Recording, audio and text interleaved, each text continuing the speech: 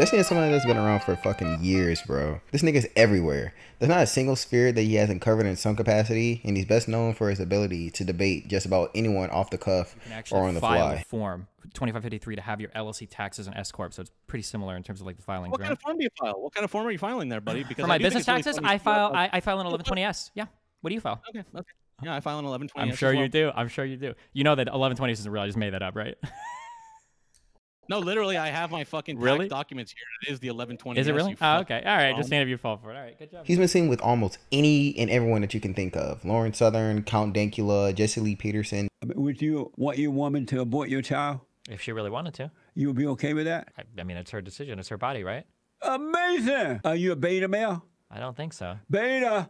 Sneako, Fresh and Fit, Ava, Jidion, Low Tier God. For I, I don't know why he's around Low Tier God, but you get the point. I've personally been watching this nigga since the IBS days where he would debate like three of these retards at once. Did somebody say earlier he didn't have a, a Benz? What? He has a Uh, Mercedes. Why are you Did they so... make? Did they make? Wait. Do they make more than one kind of car? Is that the only thing that they make? Wait, you know that a Mercedes Benz is like... Uh, the- Do you no no Destiny? Yes or no? Does Mercedes make more than a Benz, Steve? what else do they make? Tonka trucks? Do Mercedes make more than a Benz? Steve? Tonka trucks. What else do they make? I asked you a question. Steve. I'm asking you, Tonka trucks. Tell me. You ask a lot of questions. Tonka. You have never answered a question. The brand is it? called Mercedes Benz Tonka trucks. What, what do you want me to say? Ever since he's gotten more and more popular, the opinion on him has been fluctuating more than some horned up white girl at a college party. Some debates he's one way, then other debates he's another. I don't know if it's due to him being able to fully articulate his point so often that he can constantly be on a fucking fence and be a fucking just just the most fence riding idiot I've ever seen in my life. Life, life, life, life. It just sort of veers into the realms of moral grifting at some points. In a debate, he got on Sneako about having multiple wives, while he himself is in an open relationship, which is fine for Tyrone. you. Like if you've got a red pill guy that like insists that he needs to be open on his end and closed on the woman's end, and the woman can't even go out or have a male friend, I would consider that guy less masculine than an actual cuckold that like sits by and watches his woman get fucked. Because one of these people is confident, they know what they want, they get exactly what they want, and they're comfortable with the arrangement. And the other guy is so insecure, he thinks that if his woman looks at another person, that she's going to leave him for another guy. So I mean, like at the end of the day, it's all a matter of perspective. If you think that like being the most masculine is being like the Get your bitch ass up, nigga. But that's whatever. Most people who actually are more argumentative or can debate very well can sometimes go into the realm of over superiority, and Destiny is indeed guilty of such a thing as well. Depending on the person he's talking to or going up against, he'll straight up talk down to or just straight up dismiss some of the things that they're saying just in the pursuit of being right. You'll see it if you actually stop to listen, but a lot of his debates are of him being, you know, on the offensive for the majority of the fucking talk. But if he's ever on the opposite end, he'll speed up how he talks to sort of circle it back around to him being the primary talker again. It's fucking annoying. It's just it's a, it's frustrating. But this is all auxiliary fluff, really just to connect home a few points on what I've noticed on how to actually beat him in a debate.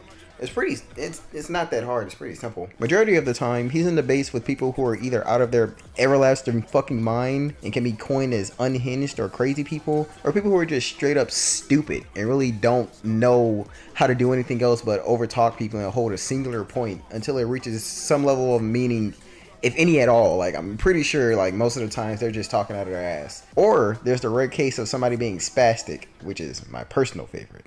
Can you define grooming though? No, I actually don't want to talk about like stuff related to pedophile stuff around you. Hold on. okay. Oh my god! Oh my god! Oh my god! Oh my god! Oh my god! Wait! Wait! Wait! Wait! Wait! Wait! Wait! This guy can't even define grooming. Wait! Wait! Wait! Wait! Wait! wait, wait, No, no, no, no, no, no. Oh Hold my on. I can define it. Okay. no, no, no, no. Dude. He's memorized. No, it, everybody. this is what I've hear it. memorized, Let's dude. hear it. No, no, wait, wait, wait, Please, wait, wait, please wait, stop. wait, wait, wait, No, wait, please. wait, I memorized this, okay? Let me just tell you, okay? Wait, wait, wait, wait, wait, wait, wait, wait. Hold on, hold on. Wait, wait, wait, wait, wait, wait. Let's wait, let's wait, let's wait for destiny. Step one, never immediately answer Destiny if you feel like you're correct. Take a deep breath and let this loon ramble on for a bit to throw him off his fucking flow and let his spastic speed just slow down a little bit. You can see this tactic being used multiple times over by people who actually know how to debate.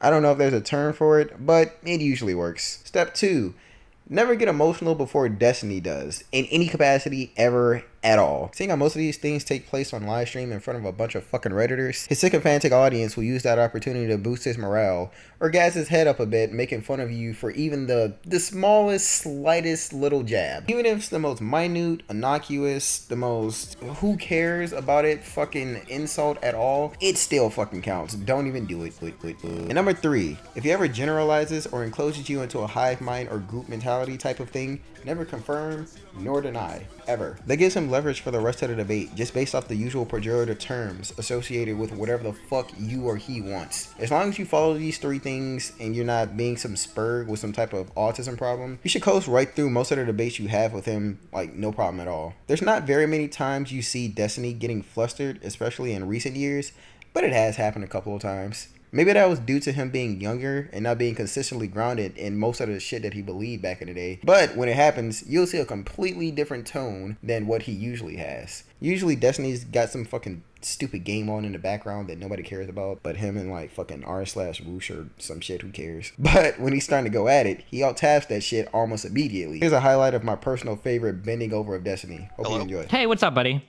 Hey, how's it going? Pretty good. You're okay. A couple of things. I because I'm not informed on all this shit. Are you you're a Gamergator dude? You were the big Gamergator guy in the beginning. Somebody told me that. Yeah, I haven't been in Gamergate since November 2014, so it's been like two years. To s- establish this at the very beginning, are you somebody that adamantly supports Trump, or are you indifferent to Trump and you hate Hillary? Uh, I, I didn't vote for him because I disagree with certain planks in his in his platform. I guess the certain policies that he has, certain outlooks on uh, security and freedom of speech. So that's kind of why I didn't vote for him. But I do like him. He's a likable gentleman. It's good. It's, anything can rub somebody wrong. Yeah, sure. If he'd said it the reverse, would you have liked it better? If he had said, "We need better border security. We need more resources. We need to allocate. We need to get a handle on this illegal immigration problem because Mexico's they're sending us good people, but there there's some bad eggs in there." Would you have liked the reverse better? I mean, it's a, he's still talking about doing the same thing, isn't he? I, no, not at all. I, I guess maybe I don't know. Maybe you're not like a big fan of like the English language. I don't understand. Like, You're reading in. You're interpreting his. his I'm not interpreting anything. I don't have to interpret anything yes, he says. Did. You I just go- said earlier when we started this conversation that oh well, you know, you talked about Trump and white nationalism. I asked you, has he ever come out with a white nationalist statement? You said no, but No, no, I said I wasn't a fan of white nationalism. That a lot of the shit that he said is bigoted against other races, and that that statement reverberates with white nationalist people. Eh, So that's your main issue with him. Is there Yeah. anything else? I, I guess that you dislike about him as a candidate? Um, I think he's pretty bigoted. I think that you could make an argument for pretty racially charged things that he's said and done. I don't think that he represents what America is supposed to represent in terms of accepting people and being a melting pot and all that shit. I'm not a big fan of like the white nationalism, whatever fucking shit that goes on.